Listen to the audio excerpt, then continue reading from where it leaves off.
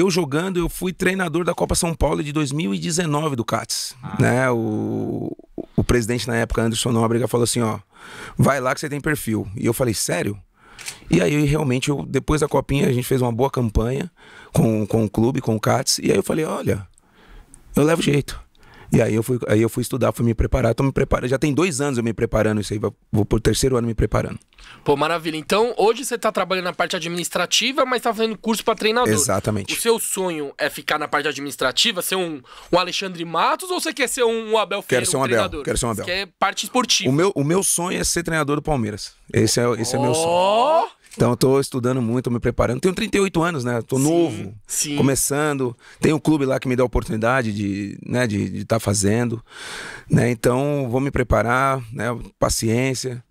E aí, quem sabe um dia eu voltar pro, pro meu querido Palmeiras, onde que eu cresci, onde que eu, que eu fui revelado. Pô, né? animal. E 38 anos, parece ser jovem, mas o próprio Abel ah. é um treinador novo. Exatamente. Se eu não me engano, ele tem 43, 44. Isso, isso exatamente. Pô, então a idade não necessariamente é um empecilho, né? Não. Porque tem... O Cruzeiro também é bem novo, né? O Pesolano. É isso. Você tem que estar tá preparado, cara. E a, na CBF, a CBF tá, tá fazendo isso, né? Com, com excelência, né?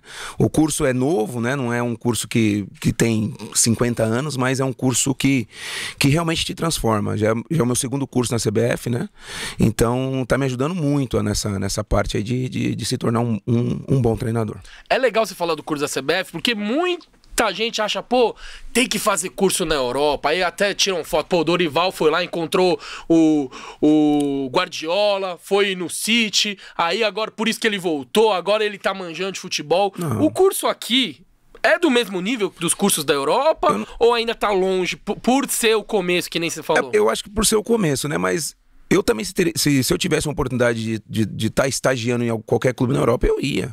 Só que aqui, aqui também, meu, aqui nós estamos falando de treinadores bons, né? Então, eu tô aqui no Brasil, eu quero me preparar aqui. Se eu tiver um convite para ir na Espanha e ficar uma semana em qualquer clube, eu vou. Não tem problema, né? Não tem problema. Mas, que nem o que eu falo, a CBF tá, tá dando essa oportunidade pra gente que quer, que quer se tornar um, um, um profissional, um, um, bom treinador. E são muito capacitados para isso. O curso é ótimo, é muito bom. E é, e é legal essa cultura de querer estudar, porque até um tempo atrás, é, até o Renato Gaúcho, ele ficava zoando, pô, enquanto os caras estão estudando, eu tô na praia. Tô na praia. Só que mudou isso, porque mudou. hoje é, os treinadores se, se preparam para virar treinador. Não exatamente. é só somente ex-jogador ou um cara que fez educação física Não. e tem experiência no meio, né? Não, é isso, é isso que a CBF tá fazendo. Tá preparando o treinador para estar tá ali na beira de campo fazendo o melhor, né? Dando Faz, não falando tanta bobagem, não fazendo tanta, né?